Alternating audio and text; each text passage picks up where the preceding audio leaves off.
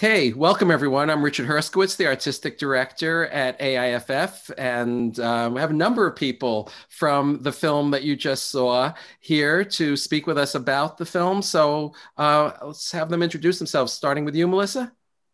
Hi, I'm Mylissa Fitzsimmons, and I'm the writer director of Everything in the End. And our producer. Hello, my name is Brenden Hubbard, and I'm the producer of Everything in the End. And our uh, DP. Hi, I'm Todd Hickey, and I'm the DP. Okay, and let's welcome the star. Hi, I'm Hugo de Sousa, and I play Paulo. Okay, welcome to all of you. And uh, for Mylissa and Brenden, it's a return visit to Ashland Independent Film Festival. You were here, I think, a couple of years ago. Yeah, I was there with this short called Who Decides, and uh, I'm happy to be back. Great to have you. So, um, you are based in LA. Is that correct, Mylissa? And is that true about you too, Brenden? Uh, no, I'm, a, I'm on the East Coast. I'm in Philadelphia. Okay. Well, um, tell me about just getting to Iceland and um, how uh, this project originated. Um, okay. So, um, I, when I was writing this script, I had always imagined that it was going to be in Iceland because I really wanted to shoot something there. And so I wrote with that location in mind. And it was very important that the film take place on an island. So it was, it was kind of uh, important for me to kind of shoot it on an island as well. And so I had spent a lot of time in Iceland and I had, was part of a talent lab there. And so I knew that I was going to make this movie and I knew I was going to make it there. And, and I don't think it was too hard to convince everybody to go to Iceland with me, but it was definitely a selling point. I think, I hope, I, I hope so. Could you tell me about how Iceland influenced the film or inspired the story? Oh, it was definitely an inspiration. Um, so I had a thought about how if I was kind of stranded anywhere and it was the end of the world, where would I want to be? And and one of the places that I, I had always thought of would be Iceland because everybody there is so kind and it's very it's a very calming and it's incredibly beautiful. And so I mm-hmm. thought if I was going to spend my last days anywhere, I didn't really want to be in a chaotic environment. I would want to be kind of surrounded by this beauty and I would I would want to be very calm about it and very just ready to go and make my peace. And Iceland really and Iceland really uh, gives off that vibe and that feeling, um, you know, emotionally, personally, and just physically as well. Uh, so tell me about mounting the production. I mean, it, it's as as I understand it, it's a very small crew and a very low budget. So, um, Brenden, you were uh, pulled into the project, mm-hmm. and uh, you could say that. Up that, can you tell us about that? Uh, yeah. So basically, I was on the road. Uh, I toured with a band, and Mylissa like called me up one day, and she's like, "I'm going to do this thing probably like in a couple months." And I was like, "Sure, let me know." And then a couple months went by, and it was like, you know, she brought on Hugo, she brought on Todd, and like everyone wants to do it. So we kind of just planned it over two months and found enough money to fly everyone there. And you know, we had a crew of five people plus. Uh, some Icelandic help. Mm-hmm. Uh, we cast everyone like literally like two weeks before the film shot. We found some Airbnbs up up in the Northeast, and just you know we shot in nine days, and every day was like, let's wake up and figure this out. Wow. So I, I want to hear a little bit about the the the casting. Um, Hugo, you are uh, Portuguese, but you're based in New York. In uh, in LA. In LA. Okay. Yeah. I understand that you you came to the U.S. and you studied in uh, Uta Hagen's studio. That, that that's right. Yeah, yeah, that's right. Um, and uh, can you say something about your film acting and uh, experience and um, how you were drawn into this project? Uh, yeah, I moved to New York and I studied there for a year, and then I moved. I moved to LA, and I've been here uh, making small independent films ever since. Uh, mm-hmm. Yeah, that's that's kind of how I met uh, Mylissa. She saw one of my films, and she cast me in this. Yeah. Huh. I understand that you're you've directed a film too. Is that right? Yes, I did. Yeah, yeah. Uh-huh. Tiny, mic, like microscopic film. It's mm-hmm. so tiny. Yeah. So, so tell us about uh, kind of inhabiting the character. Um, um, uh, uh, uh, this, I mean, I was uh, there was a I was just trusting Mylissa. I mean, she told me the story, and I had a, I had a pretty clear idea of what she needed for for the for the for the film and the tone mm-hmm. of the whole thing. And in terms of the character, uh, we just because one of the decisions he makes at the beginning of the film is to uh, not be alone. That, that's something like one of the characters tells him, like whatever you do, mm-hmm. Don't be alone. And mm-hmm. so, in order to make that more of a challenge, we decided to make him like super shy and like and um, shy and reserved. So that that would be more of an obstacle uh, when he meets all these people throughout the film so that was the kind of like the base of the character uh, for the character and then i just you know i was just hoping that iceland and all the other incredible actors i got to work with would affect me in an, in, in an interesting way yeah yeah i mean personally i love independent films that um, that um, blend professional actors with non-actors and scripted footage and um, improvised footage. So could you talk about that, um, both of you, Mylissa and uh, Hugo, about working with non-professional as well as professional actors and drawing out your story? Maybe Mylissa, you could start with you just about why you chose to do that.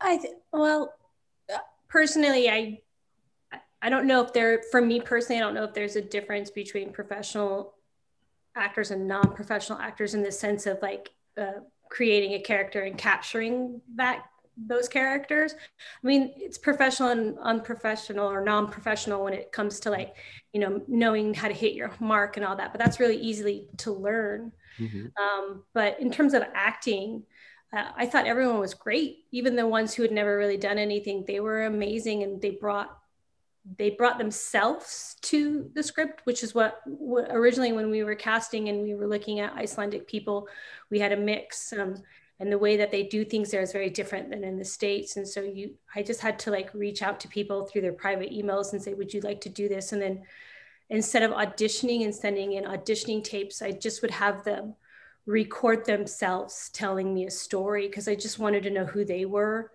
mm. because mm. it was important that whatever story I was asking them to tell me, I wanted to know what their story was in case we could bring some of that in if this mm-hmm. was, you know, the end of the time for them. So to me, they were all professionals. Um, uh-huh.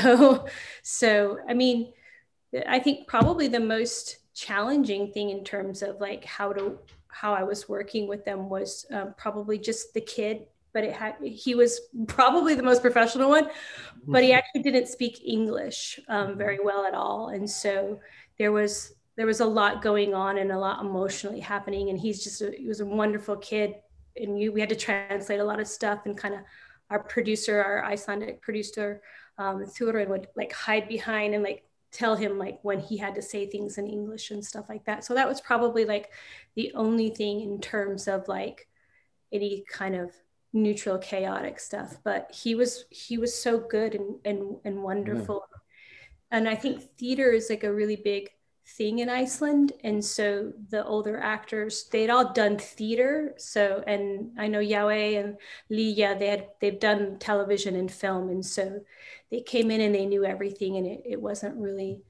um, such an such an issue so yeah I so mean, were they working from scripted dialogue or kind of playing off just um, themes uh, in, in, each scene? I think the majority of it was that everyone worked with was scripted, except mm-hmm. for there were two scenes where we kind of made up on the day, and it was like Hugo and um, Gunnar at the, the, the man at the beach, and then um, Hugo and Raul, who was the Spanish man. Mm-hmm. So I just, with Hugo and Gunnar, I was like, this is kind of the scene that I, uh, the feeling, and this is kind of what's happening, and and really, let's bring it, let's distill it down to like, you know, men and what they need to do to release that. And and then they they really went with it and they were really good. Like the fighting thing was i believe it was hugo's idea like can we maybe fight? Originally i wanted them just to like scream at each other. Mm-hmm. and he was like well what do you feel about how do you feel like maybe we can fight like actually fight? And i was like oh just don't hurt yourself. I know like I didn't really I didn't feel good about it. Yeah, I didn't really tell the producers and I was like I was like, well, let's see what happens. And then I remember on the first take, Hugo goes down and there was a, a pile of rocks. And, and from where we stood, it looked like he just crashed his head right into the rocks because we were farther back. And, mm-hmm. and I just saw Brenden like running kind of like just to see. And, and, and I think like that scene was like, it's one of my favorite scenes because it's so beautiful and what they did with each other. And they really played really well off each other. And, and yeah. same with Raul and Hugo. And I thought it was quite interesting, this kind of man from Spain and this kind of man from Portuguese and and like you know yeah just this kind of connection through language but not language but just like kind of being there for each other was very sweet so yeah so your perspective hugo uh, when it comes to like non-actors and like professionals and non-professionals honestly like everyone now is so used to like performing in front of a, camera because of social media so you can't really tell. And uh, and people and they get there and they're pretty excited and they're really uh they, yeah they know how to do it. Uh they're not that you know having a camera there the people are used to it by now. Um mm-hmm. uh when it uh yeah so and uh but yeah, it was cool because every day was like a different actor would come to set. So every day was like a different puzzle mm-hmm. uh, for, for everyone. And uh, so, yeah, and all the scenes are very different from each other. So that really kept like, you know, us like uh, excited for like, you know, to do something different. And uh, that scene at, the beach was stressful because that was like a, a magic hour. Mm-hmm. So we did, we had like, I mean, 20 minutes to, to, pull it off. And it was a long scene. So we kind of had, so we went we tried something and hope you know you know uh, i'm glad it worked because if it didn't we wouldn't be able to shoot it again probably well, since, uh, yeah yeah well, since brought up uh, Magic Hour, let's talk to the DP. Um, and uh, it's it's it's a gorgeous film, and it, it does not look like a low bu- budget film. And uh, I think you have a lot to do with that. So c- can you Thank say you. something about uh, developing the visual style? Uh, with Mylissa for this film and ha- how you shot it? Yeah, um, Mylissa and I looked at. Mylissa had a great like lookbook that she created from a lot of her photographs and stuff that she had sourced. Um, so we had like a good like template to start from, and a lot of our work was was about the design of like intimacy, like trying to so the photography and the characters earn an intimacy. So we get these wide shots of Hugo. It changed a little bit because the edit moved around. So like the way we had designed it through throughout with like the lensing and proximity of the characters to camera and each other and how we brought them together with lensing and focal length and stuff like that.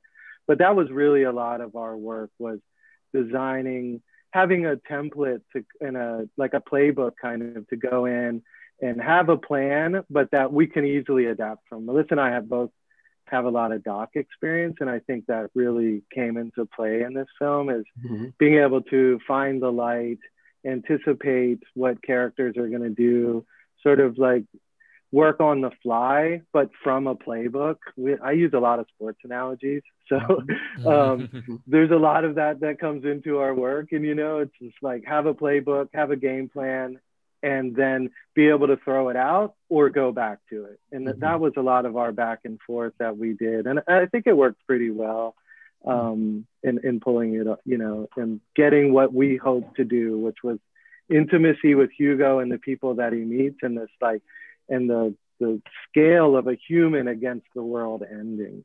Mm, yeah. So um, I want to talk about some of the themes of the film and how they just resonate with the present and the, the, our, our, our, pandemic moments. I mean, you couldn't have anticipated this, uh, the grief and the isolation and, and end of the world. Can, can you say something about that in terms of when you made the film and how it's playing out? Uh, yeah, I mean, definitely didn't anticipate what's happening right now. Um, we, we, I, you know, Brenden and I and Todd and I and Hugo and I, we'd always approached this film as we were making a movie about grief and finding some human connection in that grief. And the end of the world and what's happening in the world is was always the secondary story. It was just like a backdrop. Um, and so, you know, had I known we were going to put in a pandemic was going to happen, I might have I might have put that in there. I don't know, um, but so when we got back because we shot this right before and we did our post all through last year, so um, it was a challenging experience just to go through post like this online with people when normally you're together and trying to figure out all the obstacles of editing and all that. But um, I, I think that the feedback that I'm getting, and I don't know about Hugo and Brenden, is is very much of like, wow, this is a really lovely film. That's a reminder that to slow down because we've been forced to slow down. Um, this movie's just like an affirmation of like that. It's it's very it's been very lovely the feedback that we're getting in terms of like I, this is the film that I that this is the COVID film that I needed, mm-hmm. and I didn't even know. And so it's been really lovely. Um, you know, I've been very careful not to say, "Oh, we've made a um, a movie in t- for the pandemic," because that, that's really not what we did, and that was never our intention. Because obviously, we didn't know this was going to happen. So um, I'm glad that we we made a movie just about human connection and during this time people are finding humans that they can connect with when they're so isolated and lonely right now still a, a year you know a year later so right. well thank you for sharing the film with our festival and uh, i know you're you're going on to cinequest and and other festivals and uh, um, I, I hope uh, you get the film the distribution it, it deserves again uh, thank you all for being part of our festival this year. Thank you. Thank you so much. Thank, thank you. you. We appreciate it. Okay.